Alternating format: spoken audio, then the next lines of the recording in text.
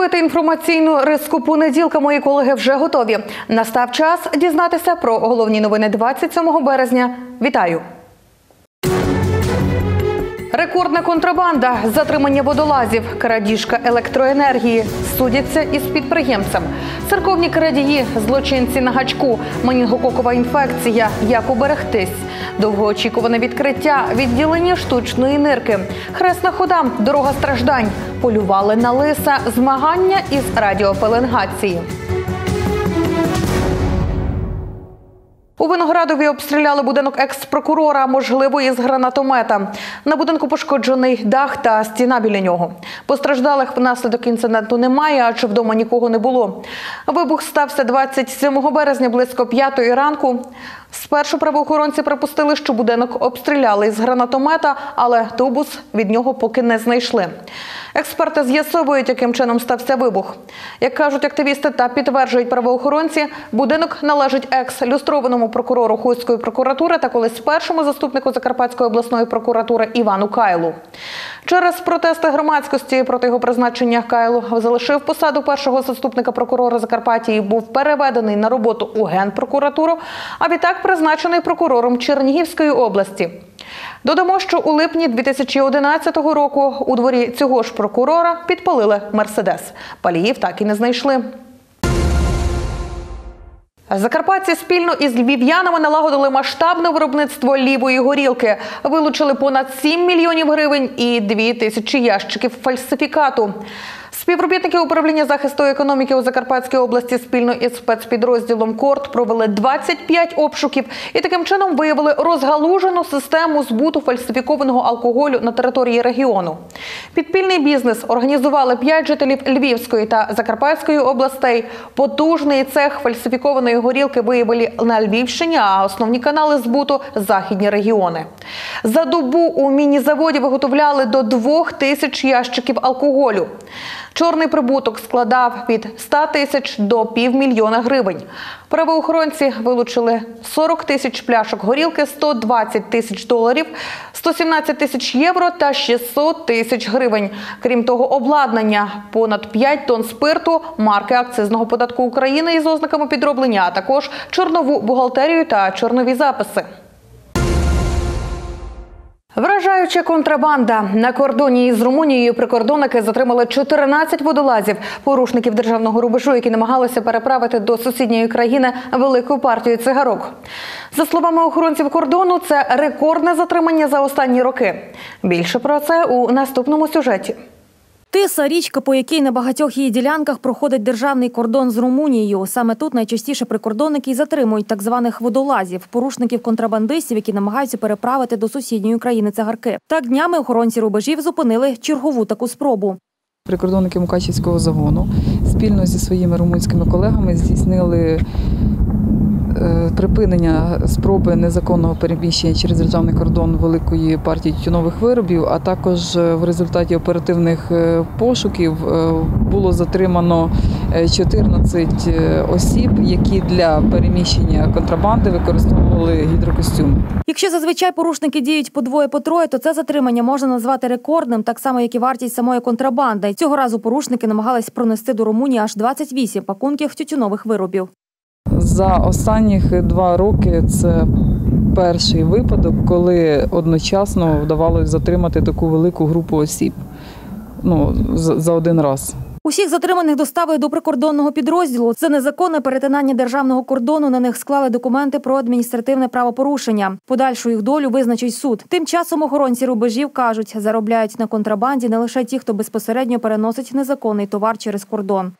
Заробляють на чорному ринку не, не ті особи, які несуть цигарки, а заробляють на чорному ринку організатори. А безпосередньо е, самі особи, які здійснюють переміщення, заробляють від е, 600 гривень до е, десь приблизно до 2000 гривень.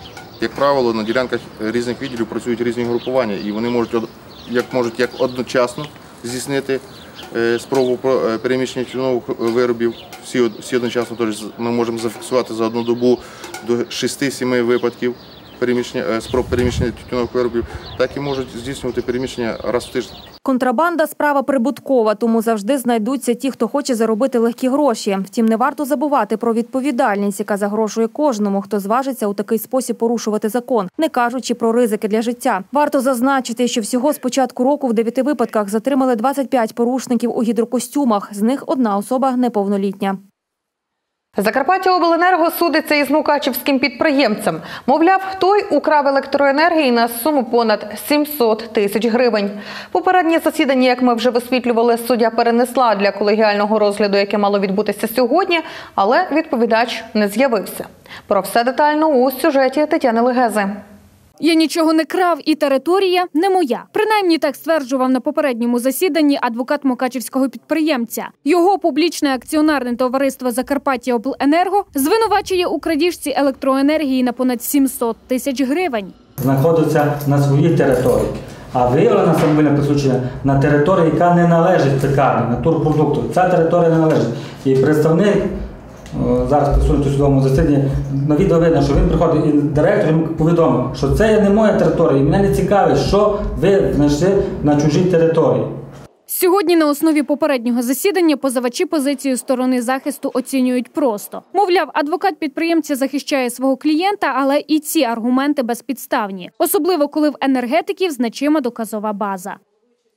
Позиція адвоката цілком направлена на те, щоб за- за- затягувати значить, розгляд цієї справи і будь-яким чином е, е, доказати протилежне. Але я вважаю, що у нас достатньо, достатньо доказів і, е, скажімо так, е, відеоматеріалів, які підтверджують е, факт самовольного підключення, тобто споживання поза приладом обліку. Нині ж на колегіальний розгляд справи відповідач до суду не з'явився. Клопотання порядку статті 77 про відкладення розгляду справи у зв'язку з зайнятістю в інших судових засіданнях. На підтвердження е, даних обставин надав суду судові повістки про виклик його по іншим вказаним справам як представника однієї сторін. Адвокат Закарпаття Обленерго запевняє, що до затягування справи готові. І практика підтверджує те саме, що за одне засідання такі питання не вирішуються. Два-три і більше судових засідань необхідно е, провести для того, щоб розглянути всі питання по справі, тому що фактично в першому, в другому вивчаються певні моменти по справі. Якщо стороні е, інтересно затягувати розгляд справи, то вона подає там клопотання про відкладення, про залучення там доказів, про залучення. Е, Нових е, представників про заміну представників Наступний розгляд справи судді призначають на 20 квітня. Хуським поліцейським менш ніж за місяць вдалося упіймати церковних крадіїв. Нагадаємо, на Хущині в одну ніч обікрали дві церкви: греко-католицьку у Драгові та православну у Кічерелах. Інцидент трапився у ніч проти вівторка, 28 лютого. Працювали одні й ті самі зловмисники, адже камери відеоспостереження зафіксували крадіїв в обох селах, що і допомогло слідству. Наразі вони на гачку кажуть у Хуському відділі поліції. Нагадаємо, у Хуському Драгові обікрали греко-католицький храм імені святих апостолів Петра і Павла. Трапилося це місяць тому, уночі з 27 на 28 лютого. Позаяк церква знаходиться неподалік сільської ради, де встановлена камера відеоспостереження, вдалося з'ясувати навіть години, коли було скоєно злочин, та побачити осіб, які його вчинили. На годиннику було вже за північ, і крадіїв було всього двоє, розповів після інциденту нашому телеканалу місцевий священник. Злодіям вдалося відчинити двері та зайти до храму, а вже там поцупити гроші. Сума вкраденого близько 3-4 тисяч гривень. Тієї ж ночі подібне сталося у Кічерелах. Однак тут обікрали православну церкву. Минув місяць і хуським поліцейським вдалося упіймати церковних крадіїв. Вжитими оперативно-розшуковими заходами було встановлено двох осіб, які причетні до даної крадіжки. Один, один з цих це наш місцевий мешканець і одна особа, яка мешкає в іншій області. Е, Відносно них забрано доказову базу. Сьогодні буде оголошено підозри і відповідно відносно них буде обрано запобіжні заходи. До слова, крадіжка карається штрафом до 50 неоподаткованих мінімум доходів громадян або виправними роботами на строк до двох років, або ж позбавленням волі на строк до трьох років. Яку саме міру покарання оберуть для крадіїв, встановить суд. ДТП на Ужгородщині водій Рено збив 23-річну дівчину на пішохідному переході. Співробітники Ужгородського відділення поліції встановлюють причини автомобільної аварії в селі Великі Лази. За кермом автомобіля знаходився 58-річний мукачевець.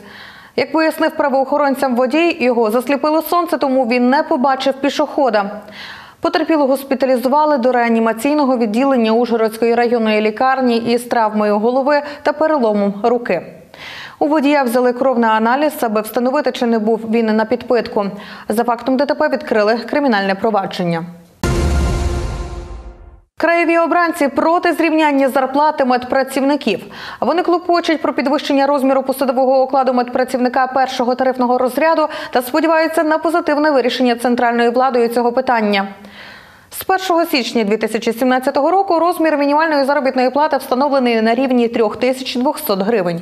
Тож при різній кваліфікації працівників у закладах охорони здоров'я від прибиральника приміщень, підсобного працівника і до лікаря другої категорії заробітна плата працюючих від першої до 10 тарифного розряду складає 3200 гривень.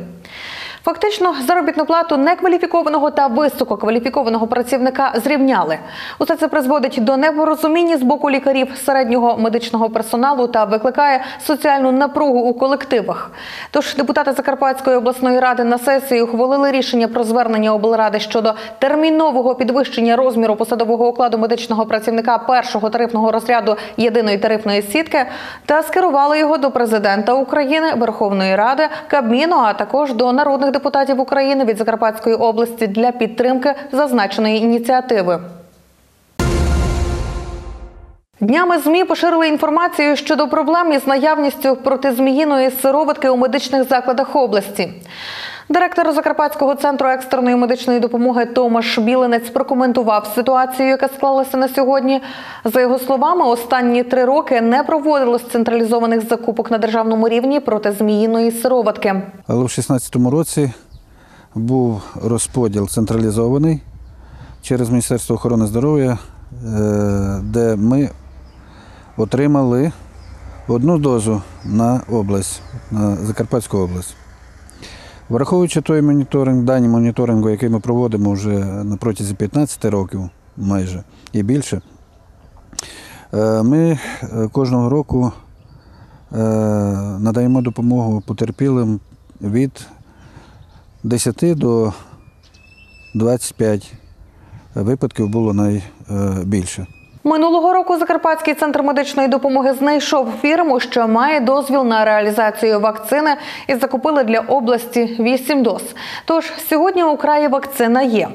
З початку року питання додаткової закупки вакцин вирішують. Продовжуємо тему медицини. З початку року в області зареєстровано вже 10 хворих менінгококовою інфекцією. Хоч в Україні загалом статистика захворюваності на цю інфекцію пішла на спад, та цього не скажеш про Закарпатську область. Що потрібно знати про менінгокок та як від нього уберегтись, розповіли закарпатські лікарі. Більше дивіться у сюжеті. Про менінгококову інфекцію закарпатцям нагадали фахівці різних медичних закладів обласного центру. Враховуючи, що завжди, коли є якась якийсь спалах, або не дай Бог одна або дві людини захворівши дитини, то завжди це чомусь сіє серед населення велику паніку. Звичайно, е, і тоді у лікарів з'являється у лікарів, е, як ті, які займаються лікуванням, і тих, які займаються діагностикою, виникає безперечно велика кількість роботи і часу розповісти все населенню, як себе поводити, е, як діяти, куди йти, що виконувати, обов'язково які міри профілактики виконувати. Нема на це часу. Тому власне ми і зібрали прес-конференцію зараз, коли як правильно відмічено було, є канікули. Статистика свідчить, починаючи із 2015 року в Україні захворюваність на менінгіт пішла на спад. Однак цього не скажеш про Закарпатську область, яка впродовж останніх років попереду інших областей за кількістю випадків менінгококової інфекції. В Закарпатській області в 2015 році зареєстровано 13 випадків, і інтенсивний показник становив 1,3 відсотків. У 2016 році в Україні зареєстровано 270 випадків мінококової інфекції, інтенсивний показник 0,63, в Закарпатській області 14 випадків, інтенсивний показник 1,14. Ви бачите, що наша захворюваність в Зак- в Закарпатській області в 1,8 разів перевищує захворюваність в цілому по Україні. Менінгококова інфекція це гостре антропонозне захворювання, яке вражає здебільшого носоглотку в залежності від стадії недуги. Найчастіше хворобу виявляють у дітей до 14 років. Лікарі кажуть, вилікувати інфекцію можна, головне заздалегідь виявити, оскільки вона дуже швидко прогресує. Найбільшою проблемою е, тут є те, що хво- хвороба може розвиватися дуже швидко.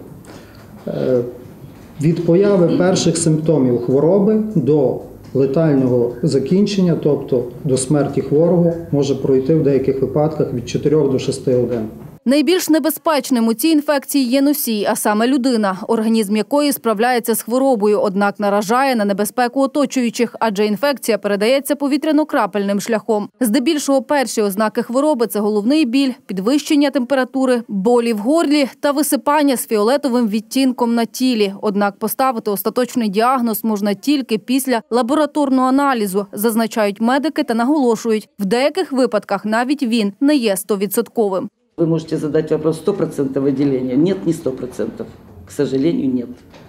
Потому что много имеет большое значение на этот микроорганизм антибиотики. Почему бактериология – это закон? Все начинается до начала антибиотиков. Э, Проводить забор материала. И поэтому, если мы уже выделили, то мы уже выделили. И под сомнению не, не надо ставить. Тільки за два місяці поточного року в області вже було виявлено 10 випадків менінгококової інфекції. У дев'ятьох із них жертвами захворювання ставали діти. Захворів один дорослий, життя якого, на жаль, не вдалося врятувати. Тож лікарі закликають закарпатців при перших проявах захворювання звертатись до фахівців, адже кожна згаяна хвилина може привести до летального наслідку. Вчасне ж виявлення менінгококової інфекції сприятиме повному одужанню хворого. Після майже трьохрічної перерви у хусті знову запрацювало відділення гемодіалізу. Сателітне відділення штучної нирки відтепер буде знаходитися у реконструйованому приміщенні Хустської стоматологічної поліклініки. Урочисто відкривали відділення керівники краю, медики, а також самі хворі із нирковою недостатністю. Докладніше про все це у нашому наступному сюжеті. Аби якісно, а головне швидко надавати допомогу хворим із нирковою недостатністю в хусті відродили відділення гемодіалізу. Колись саме хуст був одним із перших серед районів області, куди мали змогу приходити хворі. У 2014 році відділення було закрите. Урочисто відкрили його знову 24 березня 2017 року.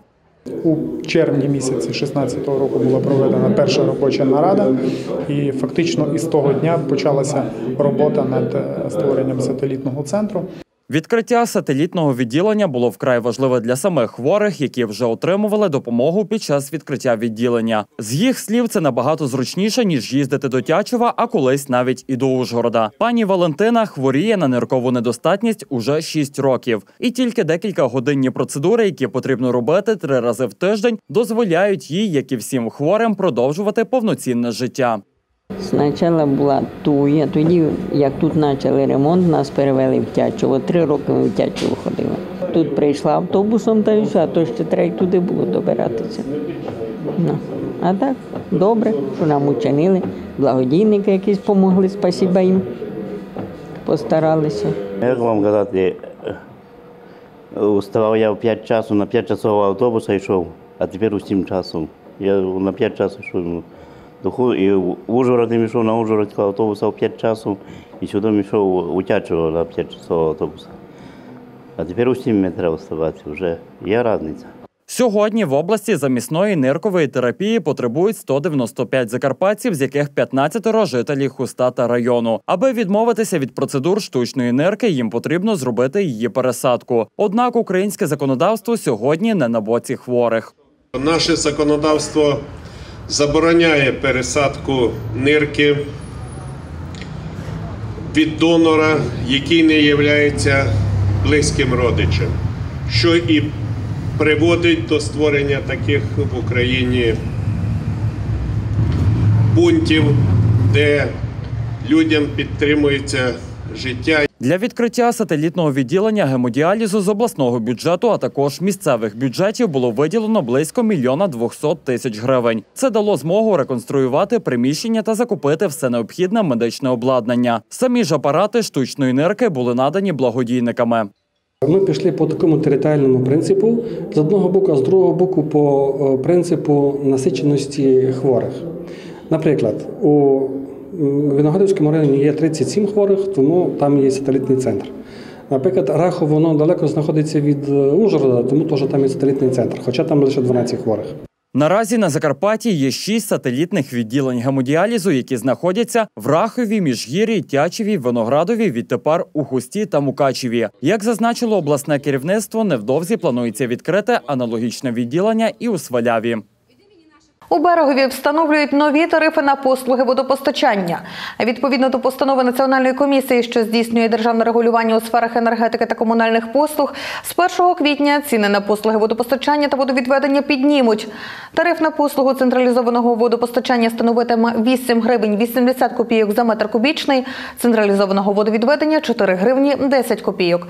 Разом із тим, ТОВ «Водоканал Карпатвіз» інформує про проведення технологічних робіт із очистки води. Тож з 27 по 29 березня у берегові можливі перебої із водопостачанням.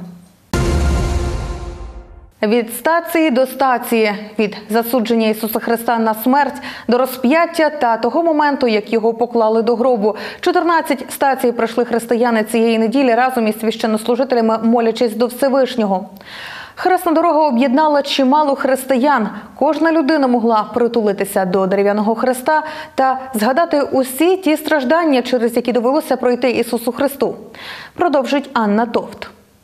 Хресною дорогою пройшли християни 26 березня від пам'ятника Кирилу і Мефодію до Мукачевського свято-миколаївського монастиря отців Васильян. Чимало людей приїхало з різних куточків Закарпаття, щоб пройти дорогою страждань Ісуса Христа. Ісус Христос за нас віддав життя. А ми просто молімося. Розпочинаємо началом обичним. Благословен Бог наш, седаний і присно, і у віки віков.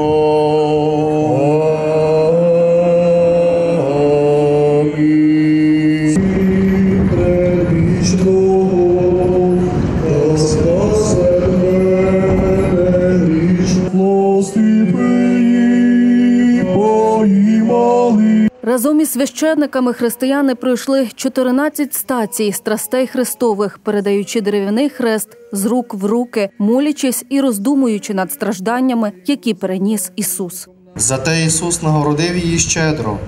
На хусті відбилося Його пресвяте обличчя. Ісусе, вчини, щоб у моїй душі стояв завжди образ Твоєї тернями увінчаної голови, головне під час спокус. Маріє, многострадальна мати, випроси мені ласку, щоб я завжди пам'ятав на муку Твого Сина. Б'ють, катують, попихають серед крові, серед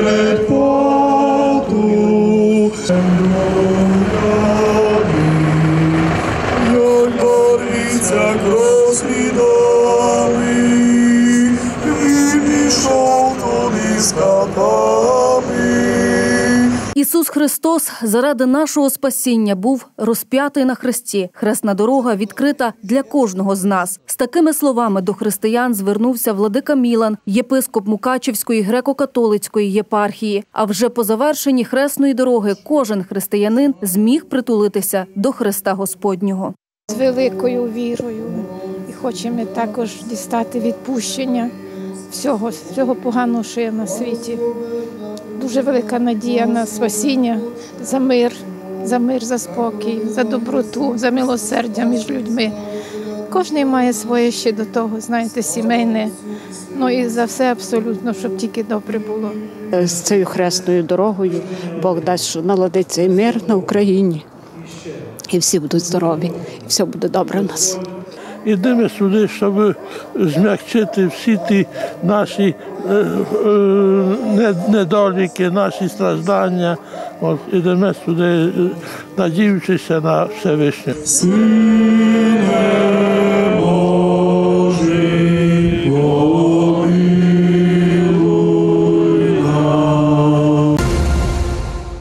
Японці висадять 2500 сакур в Україні, в тому числі в Ужгороді та Мукачеві. Аташа економічного відділу посольства Японії в Україні Іто Юрі у Чернігові повідомили, що до 25-річчя дипломатичних відносин між двома країнами уряд Японії проводить кампанію 2500 сакур, що розпочалася у Чернігові. Уже у квітні планують висадити дерева у понад 20 містах України: Києві, Львові, Золочеві, Тернополі, Ужгороді, Мукачеві, Івано-Франківському, Чернівці, Хмельницькому, Вінниці, Умані, Одесі, Миколаєві, Херсоні, Генічеську, Маріуполі, Запоріжжі, Дніпрі, Краматорську, Слов'янську, Сєвєродонецьку та Харкові. Сакури, висаджені в різних містах України, символізуватимуть дружбу між народами України та Японії. Сніг на Закарпатті зима передумало покидати край. В той час, коли в області квітнуть шафрани та розквітають сакури, у гірських районах області несподівано випав сніг. Фотографії із туристичної родзинки озера Синевир вразили соціальні мережі. Сніг добряче притрусив усе навколо. Зрештою, як повідомляють метеорологи, на Закарпатті за кілька днів знову потепліє. Щороку, 27 березня, в Україні та світі відзначають Міжнародний день театру. І так вже понад 50 років з нагоди свята найбільший театр Закарпаття подарує глядачам святковий концерт, в якому звучатимуть кращі музичні номери. Про все детально розповіло керівництво театру на прес-конференції. Це свято акторів, режисерів, сценографів та білетерів. Кожен із них має певне відношення до театру. І нині вони відзначають своє професійне свято День театру. Художній керівник обласного музично-драматичного стверджує, що від інших колективів у роботі не відстають, а подекуди і у лавах тих, хто прогресує. Наш театр е, є е, найближчим до е, сучасної манери гри. Ми чому поїхали до Києва і здивували столиці, вони не могли вгамуватися. Причому це було і в Коломиї, де дивилися виставу Роговцева, Кадирова, Коломієць. Торік Закарпатський театр імені братів Шерегіїв отримав статус академічний. Це саме той здобуток і та вершина, до якої ми йшли, щоби довести всім, що дійсно а, театр заслуговує. До того ж, уже є плани і на цей рік. Хочется, конечно, чего-то необычного, но тем не менее, все необычное придется делать, я думаю, поза плана, потому что план у нас, вы знаете, мы должны обслуживать детей, и спектакли в основном должны быть для детского зрителя. А, конечно, нам тоже хочется что-нибудь такого, не всегда ж морковку играть там. Поэтому плани є. А нині у своє свято актори зустрічають глядачів кращими музичними номерами. Звичайно, хвилюємося, тому що завжди е, хвилююче зустрічати гостей, з котрими охота щиро поділитися своїми здобутками, планами, міркуваннями і ідеями. Наступного місяця з 20 по 26 квітня на сцені театру відбудеться фестиваль під світом Сакури. Перед глядачами виступлять відомі колективи з Києва, Івано-Франківська та, звісно ж, Закарпаття. Полювання на лиса саме так зазвичай називають змагання зі спортивної радіопеленгації. На Ужгородщині пройшов чемпіонат України із цього виду спорту.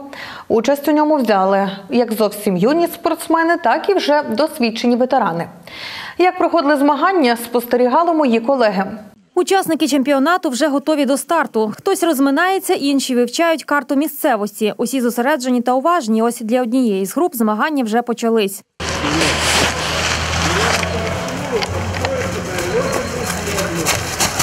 руках кожного щось на кшталт антен та обов'язково карта місцевості. На пальці спеціальний чіп, за допомогою якого спортсмени фіксують своє місце знаходження на спеціальних станціях та фініші. Ще один обов'язковий елемент спорядження навушники, без яких сигнал не почути, а видають його спеціальні радіопередавачі, яких називають лиси. Звідси і інша назва змагань полювання на лиса. В районе выставляются 5 передатчиков, которые выдают азбукой Морзе каждый свой сигнал. Каждая лиса работает свою минуту и повторяет свой сигнал каждые 5 минут. То есть 5 минут работает, 4 минуты молчит. Взяти участь в чемпіонаті України зі спортивної радіопеленгації приїхали на Закарпаття більше півсотні спортсменів. У різних вікових категоріях приблизно 5-6 чоловік одночасно стартує, починаючи від діток, яким 10 років, закінчуючи ветеранами, яким вже за 70. На сьогоднішній день у нас в чемпіонаті приймають участь 133 чоловіка з 10 областей України, і також приїхали гості з Угорщини, 4 ветера- 4 ветерани, які б'ють у ветеранській групі з Ніридгази, з Дебресена і з Будапешта. Учасники кажуть, цей вид спорту схожий на шахи. Тут потрібно логічно мислити та швидко приймати рішення. Єдина різниця він набагато активніший. У тебе є карта, але куди бігти, ти не знаєш. Тебе в руках приймач, який показує куди. Але в одному місці він може показати вірно, в іншому дещо змінюється.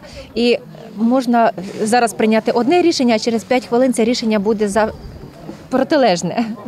Якщо в легкой атлетике надо только бежать по стадиону, а в шахматах надо только играть, например, высчитывать ходы, то здесь нужно все. Надо учитывать то, какой может быть вариант, где начальник дистанции мог спрятать передатчики. Територія, на якій начальник дистанції попередньо заховав радіопередавачі на цій ділянці 8 кілометрів. Та почути сигнал не так просто, і все завдяки рельєфу цієї місцини. Тут такі підйоми, такі спуски.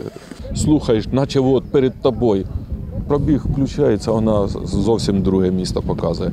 Це діапазон 144, він отражається від бугрів, там, від камня якого-то і ще.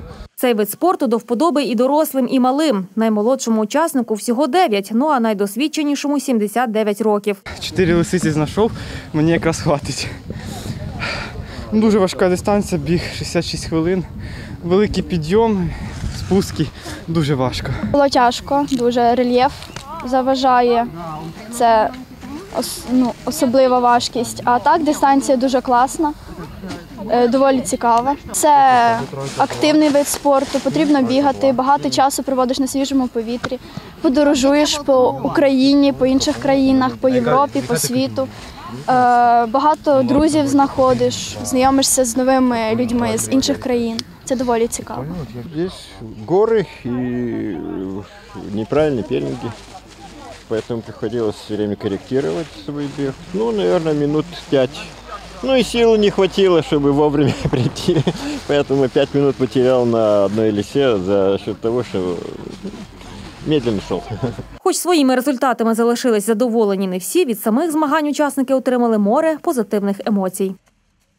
Цим повідомленням завершуємо випуск новин за 27 березня. І вже завтра у часі ви побачите. Бруківка чи асфальт, ремонт доріг у чопі, користь чи шкода, вплив комп'ютерів на здоров'я, автограф сесія Оксана Забушко у Мукачеві. На цьому у нас все. Дякую за увагу і за довіру до телеканалу. Ці та інші новини дивіться на нашому каналі у мережі YouTube та у соцмережі Facebook. На все добре.